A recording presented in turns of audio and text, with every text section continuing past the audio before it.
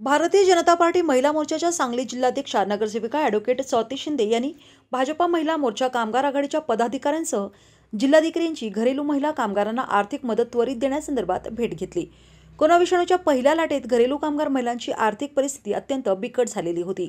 कोणाच्या काळात घरेलू कामगारांना म्हणजेच कपडे धुणे भांडी स्वच्छता घरे स्वच्छता करणाऱ्या स्वयंपाक करणाऱ्या त्याचबरोबर हॉटेलमध्ये काम करणाऱ्या घरेलू महिला कामगारांना लोक कामाकरता घेत नव्हते. त्यामुळे अनेक महिला घरेलू कामगारांवर उपासमारीची वेळ आली होती. सध्या कोरोनाच्या दुसऱ्या लाटेच्या प्रादुर्भावामुळे राज्यामध्ये कडक निर्बंध लावण्यात आलेले आहेत. या धर्तीवर महाराष्ट्राच्या मुख्यमंत्र्यांनी या घरेलू कामगारांना प्रत्येकी दीड हजार रुपयांचे आर्थिक सहाय्य देण्याचा निर्णय घेतला.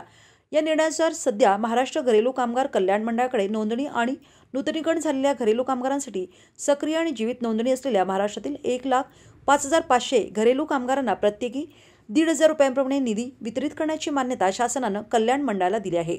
परंतु लॉकडाऊनला चालू होऊन महिना होऊन देखील अद्याप पैसे घरेलू कामगारांच्या बँक खात्यावर वर्ग झालेले नाहीत. सांगली जिल्ह्यातील घरेलू कामगारांची स्थिती अत्यंत बिकट झाली असून त्यांना मोठ्या आर्थिक संकटाचा सामना करावा लागत आहे. त्यामुळे मदतीची रक्कम त्वरित वितरित करावी. शासनानं जाहीर केलेला हा निधी सांगली जिल्ह्यातील घरेलू कामगारांना मिळण्यासाठी अनेक अडचणी येणार आहेत. कारण सांगली जिल्ह्यातील कामगार कार्यातून होणारी नोंदणी आणि नूतनीकरण गेली सहा ते सात वर्ष बंद आहे. त्यालातून या घरेलू कामगारांना नोंदणी करून न घेता परत पाठवले गेले आहे. त्यामुळे याचा लाभ शासनाच्या नियमानुसार फक्त नोंदणीकृत आणि जीवित घरेलू कामगारांना मिळणार आहे. त्यामुळे सांगली जिल्ह्यातील अनेक घरेलू कामगार महिला वंचित राहणार आहेत. जिल्हाधिकारी यांच्याकडे अशी मागणी निवेदनाद्वारे करण्यात आली आहे. आणि आता दुसरी लाट आलेली आहे. शासनानं कडक निर्बंध लागू केल्यामुळं आज देखील या महिलांना घरात घेतलं जात नाही.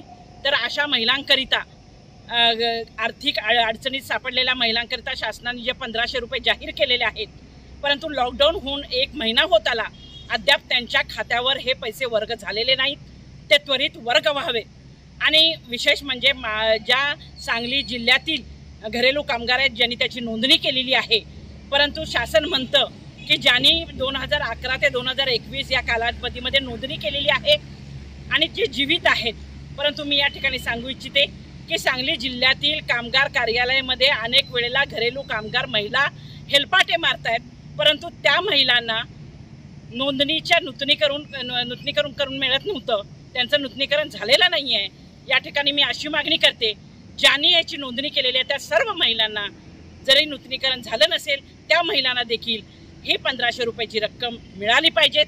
त्याचबरोबर त्या कार्यालयामध्ये नवीन नोंदणी सुरू झाली पाहिजेत आणि या सगळ्यासाठी एखादी बैठक आयोजित करावी आणि याचा सगळा अहवाल कलेक्टर साहेबांनी घ्यावा आणि याबाबत कार पुढील कारवाई करावी याकरिता आज सर्वजण आम्ही जाऊन माननीय जिल्हाधिकारी साहेबांशी आम्ही चर्चा केलेली आहे.